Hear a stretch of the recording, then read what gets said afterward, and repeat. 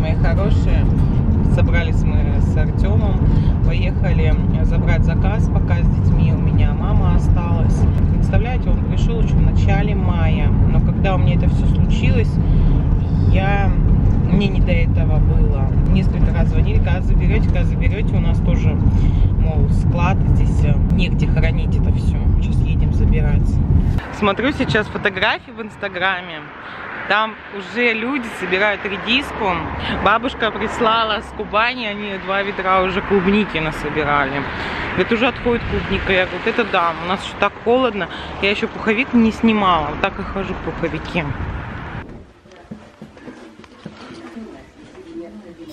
Что получили в Фаберлик? Таблетки для посудомоечных машин. Мне очень нравится их качество по отношению к их э, цене. Вот это мыло потрясающего яркого аромата манго и папайя. Если вам не нравятся яркие ароматы, то это не для вас. Потому что он прям очень пахнет. Вот этот шампунь, э, внутри он также черного цвета для глубокого очищения волос и кожи головы.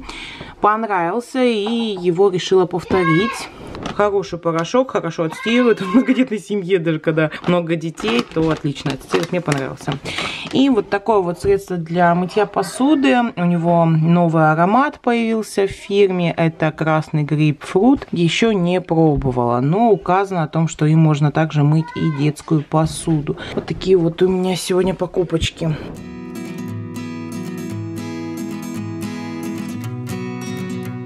Приехали мы в ленту. Здесь написано, что аптека, банкоматы, на этого ничего нет. Фруктов хочу взять немного, немного яблок, немного банан. Потому что детки просят, все заканчивалось.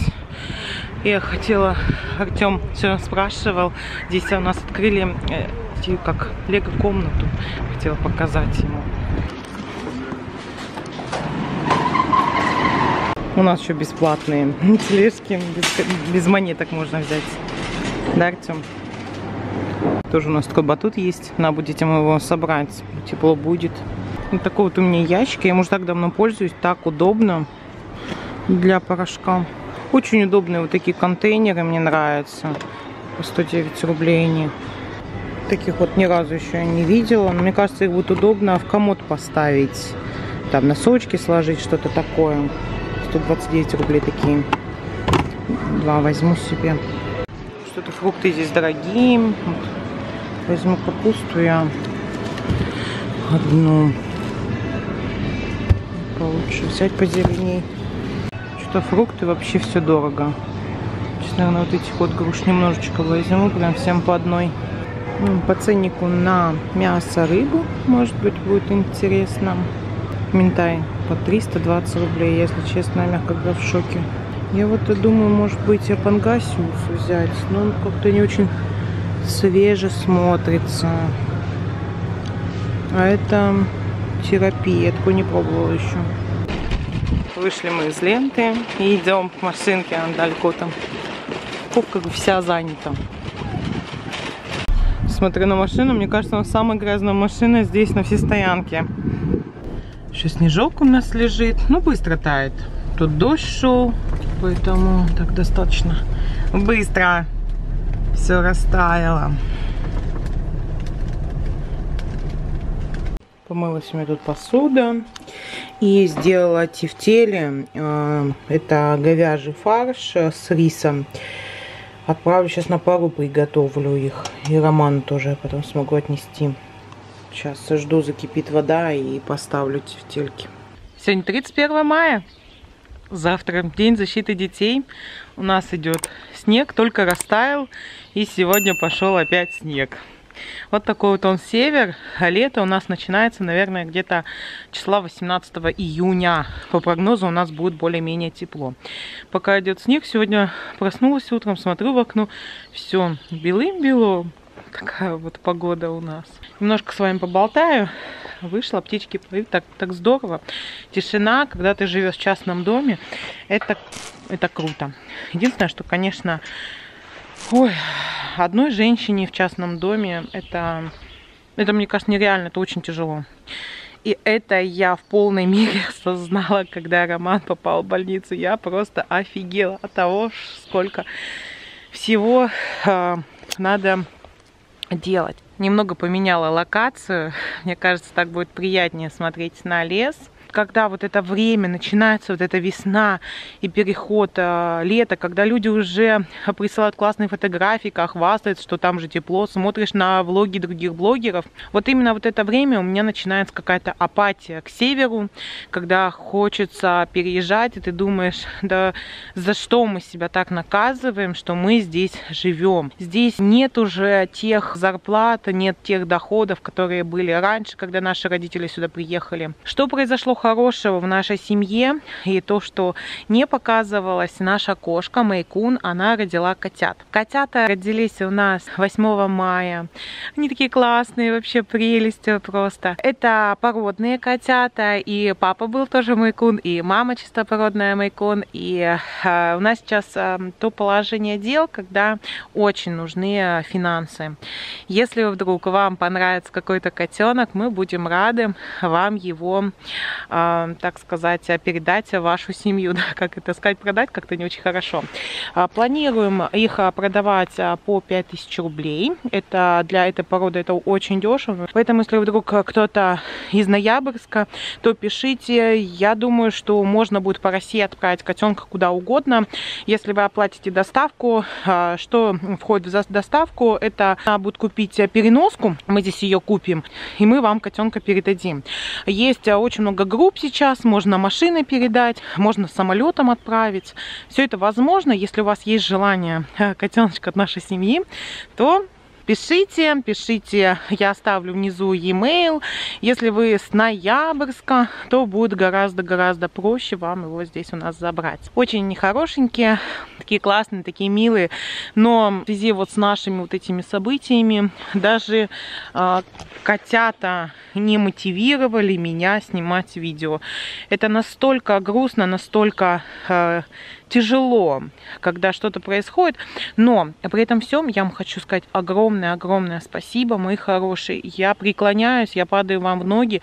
Я благодарна всем тем, кто отозвался на нашу сложную ситуацию. Огромное-огромное вам спасибо. Я желаю счастья вашей семье, чтобы никогда-никогда у вас не было э, трудных периодов жизни, потому что то сейчас, что у нас происходит, я не хочу это называть бедой, я не хочу это называть проблемами, это, наверное, трудности, но трудности трудности, которые надо преодолеть. Я очень-очень благодарна, а, очень а, поддерживают ваши комментарии, очень приятно, очень приятно то, что даже хейтеры в этот период а, воздержались от написания всякой хрени. Я вам за это очень признательна. Все-таки в этих людях, как мне казалось раньше, озлобленных, есть что-то святое, есть что-то еще добрая, э, даже дизлайков в разы стало меньше. Ребят, огромное вам спасибо. Ой. Те, кто... Э, есть, конечно, такие люди, кто... Э, я думаю, что в силу возраста или в силу жизненного опыта я счастлива, что у людей такое есть еще мировоззрение, когда люди говорят о том, что сейчас же медицина бесплатная. Я, ребята, искренне за вас рада, что у вас еще есть вот эта вера в бесплатную медицину. Это, дай бог, чтобы у вас а, это и осталось, это убеждение, и никогда в жизни вы не столкнулись с реальностью, особенно та, которая находится на сегодняшний день в России. По закону многодетным семьям должны выдавать бесплатные лекарства. Это по закону. А, в реальности, если у меня ребенок заболел а, ОРВИ, ОРЗ, я минимум отнесу в аптеку 2000 рублей. Это будет минимум. И каждая мама, а, пускай мне напишет, если у нее не так. Какой-нибудь спрей э, в горлышко 300 рублей, капельки в нос 150 рублей от, от. То есть э, и пошли, пошли, поехали. Нет, а сейчас а, бесплатная медицина есть а, только, наверное, у молодежи в голове, которые не сталкивались с серьезными проблемами. По поводу того, как себя чувствует Роман. Когда его привезли в больницу, сделали КТ, обследование мозга, то на КТ показало кровоизлияние в мозг. Оно небольшое, но оно было. Как нам пояснили, что надо ждать, ждать, еще раз ждать, его начали капать, начали лечить, э, и э, тогда вопрос стоял, надо было вот эта неделя, я думала, я с ума сойду эту неделю, потому что стоял вопрос о том, что будут вводить его в искусственную кому и делать трепанацию черепа. И для меня, конечно, этот на тот момент, вот эта неделя, вот этот день, когда это все узнали, когда это все это было что-то невероятно тяжелое.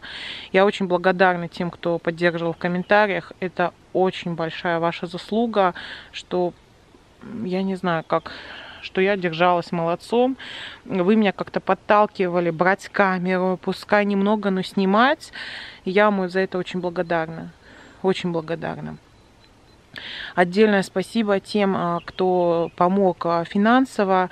Пускай сумма небольшая, но огромное-огромное вам спасибо, потому что а, денег сейчас уходит не просто много, а очень много. К примеру, то, что раньше мог Рома сделать, там мы загружали сено, давали в долг сено. Забирала его ногами и руками. Один рулон забрали мы сами, своими силами. Это было что-то невероятное. Я переколола все себе руки.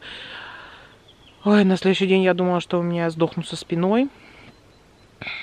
Но сено мы все-таки загрузили, а второй рулон поехали, забирали уже с грузчиками. Грузчикам туда отдали полторы тысячи, сюда отдали. Тоже сено дали в долг. Два рулона мы дали в долг. Потом, когда забирать, нам сказали о том, что ну хотите, надо вам забирать, приезжайте, забирайте. Вон оно стоит. Но а, вот ваши были рулоны, а вот наши больше. Поэтому вам надо будет доплатить полторы тысячи за рулон. Я так села и думаю, ради бога, возьмите эти деньги. Хотя э, знали о том, что какая у нас сложная ситуация, и что и дети, и э, в общем, неприятно все это. Ну, по поводу состояния романа. А, у романа а, состояние, оно удовлетворительное, как врач сказал. Все идет на поправку. Самое главное, что его гематома, которая была у него, она практически ушла на сегодняшний день, которая показала КТ. И первую неделю было, конечно, очень сложно подошла к дому. У меня уже руки под, подзамерзли. Такой бардак у нас. Тут еще дети вон гуляли в песке. Раскидали игрушки. Так уже вроде пытаюсь убраться, но все равно еще уборки и уборки здесь валом. Да, мама идет. Маленькие мои кунчики. Один даже вот такой рыженький родился. А все остальные э, как мама. Этим котятам всего три недели. Да, скажи. Скажи им всего три недели. Вот. Родились они 8 мая. Если а, кто-то хочет а, себе большую кошечку Майкун, да, мама пришла Майкун. Да, мама Майкун пришла. И детишки. Ну, уже такие баси они, кажется. На самом деле им вот всего три недели. Такой детский сад. Смотрите, какой черепаховый окрас интересный. Да? Какой интересный. Смотрите, какие холеси. Выбирайте, может быть, кто-то из родителей вас увидит, детишки. Да, скажи, может кто-то, мама какая-то вас увидит и тоже себе захочет такого майкуна. Майкун это большие крупные кошки. Коты у них очень большие, до 15 килограмм. Кошки где-то 8-9. Вот такие они еще маленькие. Вот такие пушистики. Вот такие пушистики. Такие холеси-холеси.